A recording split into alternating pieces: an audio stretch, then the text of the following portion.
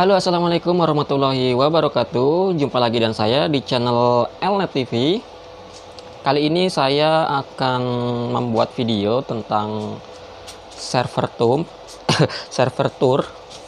Jadi kalau orang itu biasanya room tour sekarang saya akan buat server tour. Nah tujuan dari video ini bukan apa-apa ya teman-teman. Jadi karena kemarin itu banyak yang tanya uh, alat apa aja yang saya pakai buat voucheran RT RW net. Kemudian uh, topologinya seperti apa dan juga berapa sih budgetnya buat membuka usaha seperti ini. Nah untuk itu saya buatkan video server tournya supaya teman-teman bisa lebih jelas lagi. Seperti apa videonya? Yuk kita lihat bareng-bareng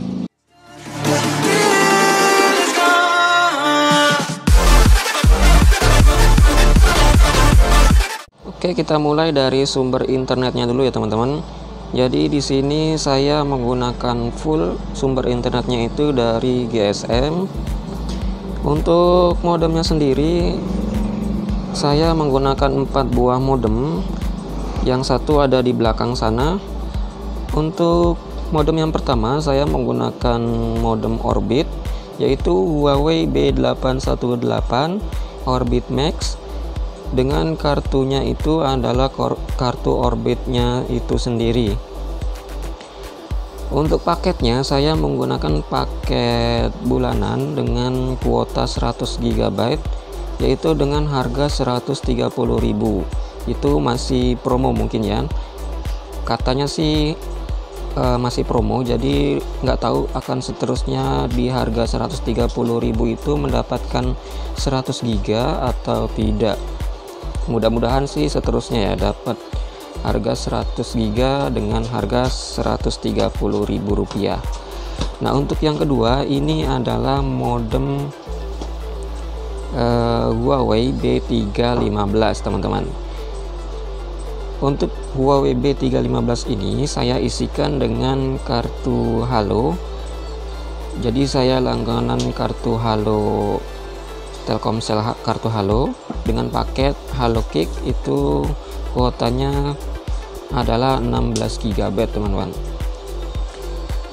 Nah kemudian untuk modem yang ketiga saya menggunakan modem smartfren yaitu modem Wibox dari smartfren untuk paketnya sendiri yaitu paket bulanan dengan kuota 30 GB siang dan 30 GB malam. Jadi kuota smartphone ini uh, dibagi-bagi ya teman-teman.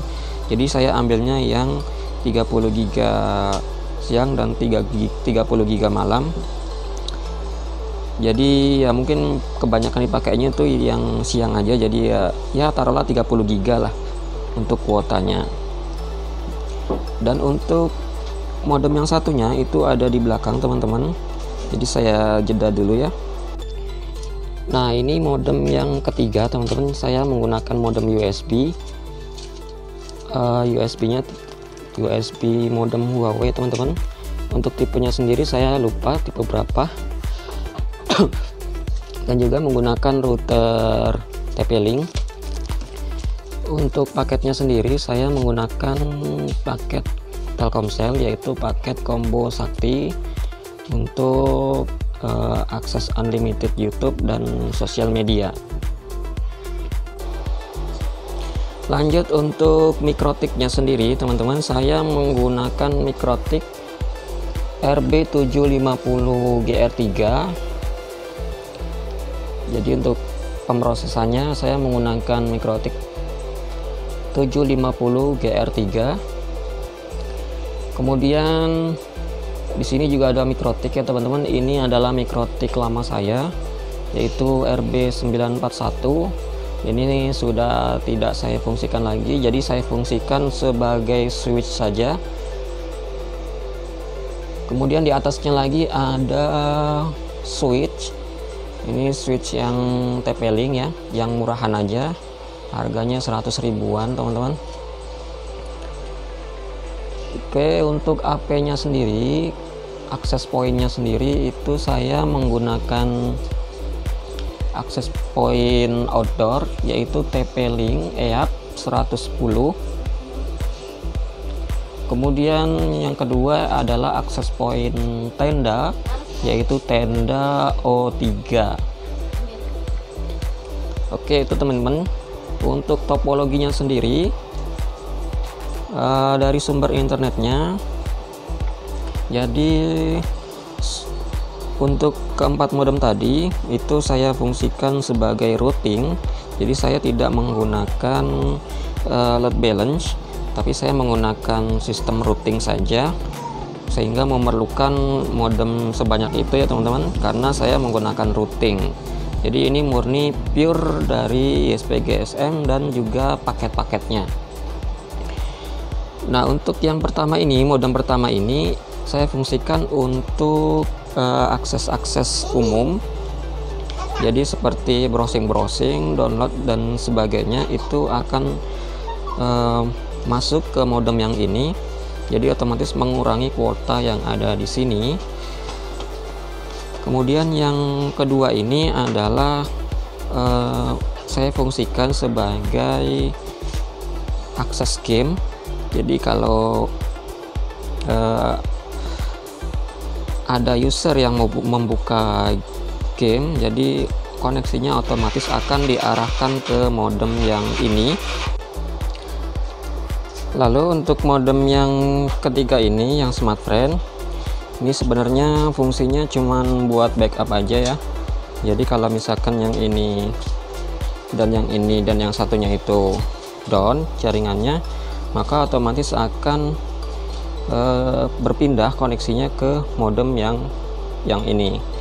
Jadi modem ini akan berjalan ketika yang ini yang ini dan yang itu e, down alias mati gitu. Bisa mati bisa juga pas hilang sinyal. Intinya koneksinya nggak ada gitu.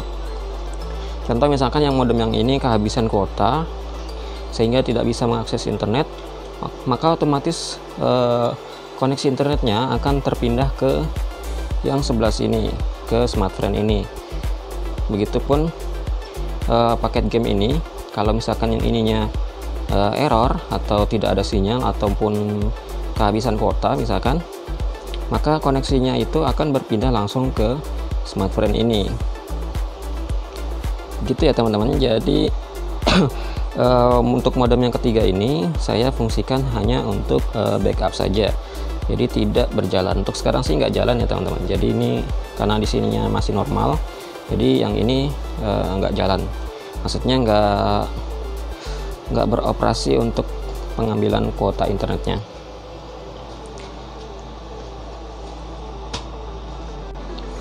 Nah, kemudian untuk yang modem yang satunya tadi, yang di belakang tadi, itu fungsinya untuk uh, akses YouTube dan juga akses sosial media yang lainnya. Jadi kalau user membuka uh, YouTube Facebook WA Instagram dan lain sebagainya itu akan masuk ke uh, koneksi ke modem yang belakang tadi itu ya teman-teman. Oke lanjut ke bagian backup jadi karena di sini itu sering sekali mati lampu teman-teman jadi saya terpaksa menggunakan backup listrik. Yaitu saya menggunakan UPS di sini saya pakai UPS AC jadi masih menggunakan adaptor ya teman-teman. Seperti itu e, berantakan sekali. Banyak sekali adaptor yang tercolok gitu. Kalau misalkan teman-teman pengen yang lebih hemat sebenarnya ada eh, UPS DC itu udah banyak sekali yang jual di online shop. Jadi dia uh, menggunakan DC untuk listriknya sehingga uh, penggunaan daya akinya itu semakin hemat sih. Infonya sih seperti seperti itu teman-teman.